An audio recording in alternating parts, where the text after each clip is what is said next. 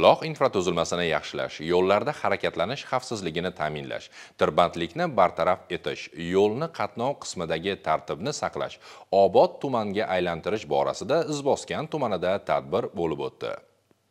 Tuman hokimligida tashkil etilgan tadbirda viloyat ichki ishlar boshqarmasi jamoat xavfsizligi xizmati yo'l harakati xavfsizligi boshqarmasi hamda korxona tashkilot muassasalarning vakillari qatnashdi. Yo'llarning serqatnov qismini tartibga solish harakat xavfsizligini ta'minlash masalalari e'tibor markazida bo'ldi. Shuningdek yo'l harakati xavfsizligi ekspluatatsiya montaj xodimlariga maxsus kiyim boshlar va zaruriy texnikalar topshirildi. Shundan so'ng guzar mahalla fuqarolar yig'ini o'ramidagi 12 umumta'lim maktabi o'quvchilari o'rtasida yo'l harakati qoidalari targ'ib qilindi. O'g'il qizlar yo'l belgilari bilan tanishtirilib maktabga kelib ketishda hushyor bo'lishlari velosiped haydash 14 yoshga yetmagan bolalarga taqiqlanishi kabi qoidalar tushuntirildi. Yo'l harakati intizomi bolalikdan boshlanadi shiorini o'zida mujassamlashtirgan uchrashuvda aksariyat yo'l transport hodisalari voyaga yetmaganlar o'rtasida sodir etilayotganligi haqida hayotiy misollar keltirildi.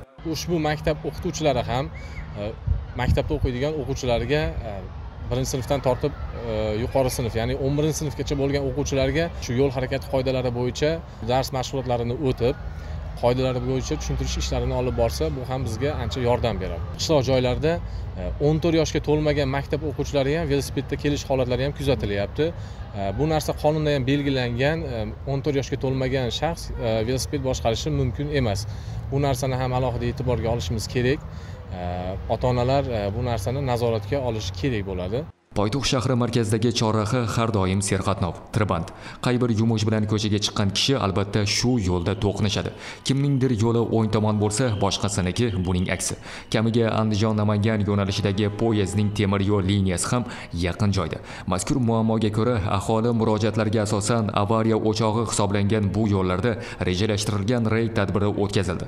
Mumkin bo'lmagan joylardan kesib o'tish holatlari bartaraf etildi. 360 darajali erkin avtopatrul mashinasi mashinasi harakatlantirilib kerakli nuqtaga muqobil energiya hisobidan quyosh panelli ko'chma svetoforlar o'rnatildi.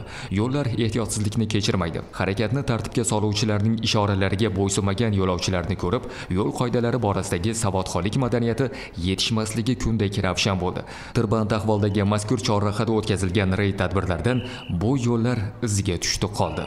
Mana yo'lakchalarda yurib bo'lmasdi. Ko'chalar tirbandlik oldilar probka edi rahmat inspektor xodimlarga. Mana shunchalik qo'ldan kelgancha xizmat qilishyapti doimda shunday bo'lsa odamlarga ham shuni o'rgatishimiz kerak. Hamma farzandlarga o'rgatishni xohlaymanda. Yo'llarimiz ochiq ravon bo'lsa skoriylar yurish yo'liga ochiq bo'ladi пожарный yo'llarga ochiq bo'ladi. Bu xizmat qilayotganlarga ham rahmat. Viloyat markazi bilan tumanni bog'laydigan yo'lning yon tomoniga yo'nalishli transport vositalari uchun 500 metrli qo'shimcha yo'l qurilishi ishlari avjida.